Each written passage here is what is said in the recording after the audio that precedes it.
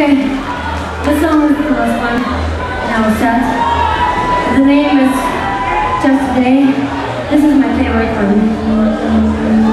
Very positive. So, everything will be alright. Alrighty!